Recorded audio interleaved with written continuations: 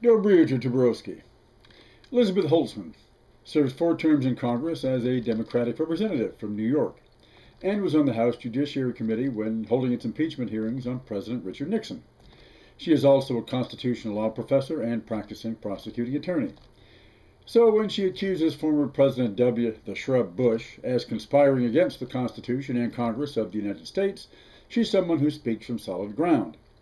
Along with Cynthia Cooper, Ms. Holtzman has authored a new book on cheating justice, how Bush and Vice President Rick Dick Cheney acted outside the law and then fundamentally changed the law to avoid prosecution.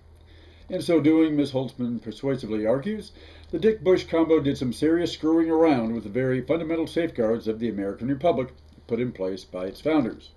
These include lying to Congress to initiate war in Iraq under false pretenses, wiretapping and surveillance of American citizens without specific court authorization or criminal allegations, engaging in rendition of criminal suspects, and themselves authorizing criminal acts such as torture, violations of law, include false representations to Congress and violation of domestic and international war crimes acts.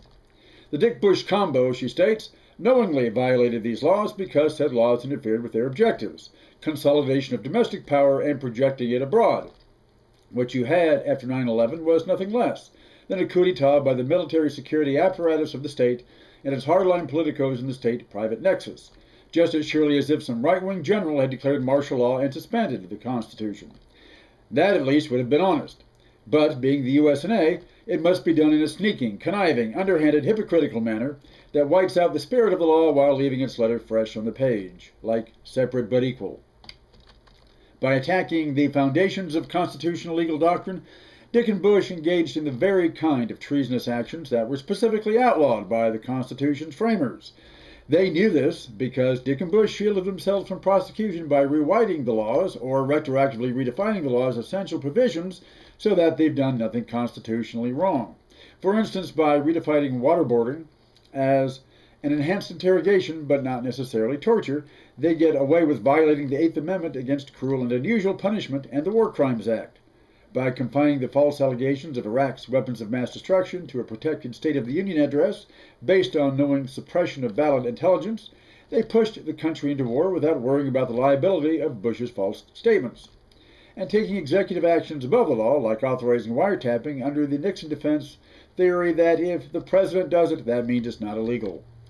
This executive state privilege violates the democratic principles of the Constitution. Sure enough, and if Dick and Bush and their supporters weren't such blind reactionaries out to grab power for themselves and the Koch brothers, they'd see the wide open door they've left for a revolutionary possibility. Because the framers of the U.S. Constitution weren't just worried about the British monarchy, against which they had revolted, they were also preoccupied with the lessons of the French Revolution and the terrors of revolutionary dictatorship, and with the example of Oliver Cromwell before that from the English Civil War. Sure, the founders were revolutionaries, but of a liberal, conditional kind. They were not out to create any fundamental transformation of society or property, which they held as two copies of the same deed.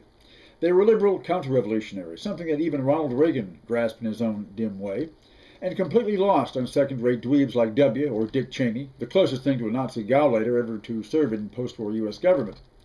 What Dick and Bush have done in their fascist power grab has opened the door to the very kind of revolutionary dictatorship that conservatives like them have supposedly always feared.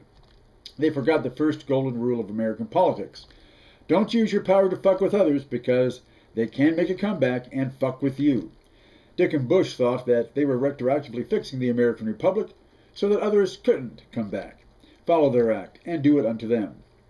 But they were wrong. Unless you abolish the Constitution altogether, you can't prevent your opponents from coming back and what they have done, in fact, is give their opponents tools to suppress speech, civil actions like demonstrations, to engage in clandestine surveillance, make illegal arrests, engage in tortures that can be used against conservatives and Republicans and Christian fundamentalists by any executive authority so inclined. This is what I've called the revolutionary opportunity handed to those who would take it to complete the overthrow of the American Republic and its constitutional basis. Think of it yet again as another example of Cuba at home. Fulgencio Batista, like Dick and Bush, was such a craven reactionary and opportunist, he thought there could be no problem with pulling a coup on behalf of his hardline military and security and mafia allies.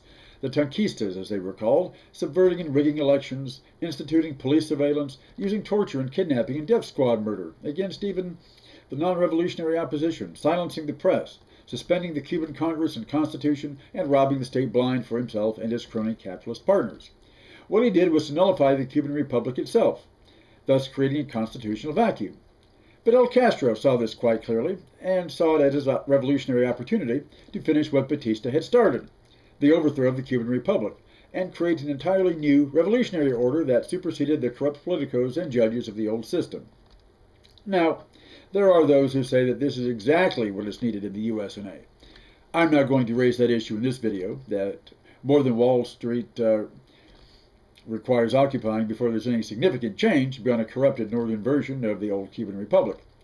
I'm only saying here that Dick and Bush, in playing the roles of a couple of blind reactionary dumbass Batistas, have created a constitutional vacuum and thus a creative opening for an American Castro or Robespierre or Cromwell to complete what they started, to throw the Constitution in the gutter like an ass rag, to be fouled with their shit to ever come clean. What I am saying is that they've done the very thing the founders feared most, something completely overlooked by libertarian law professors with all their learned tripe over originalism, and that is that came quick. Ooh, phone's scorching. Hello? President Barack Obama? No wonder this line's so hot. Making election year calls, huh? What's that? You want these viewers to know that there's no possibility of any misuse of the law now that you and your party are in charge? And if you give and if you're given four more years in power, well, that's true. If the law has been so changed that illegal war and mass surveillance and arrest without charge and torture are now constitutionally admissible, and since you, as a constitutional law professor yourself, haven't repealed any of Shrub's legal gimmicks, but only added to them, so let me give you an election year message. Ben Venceremos, baby.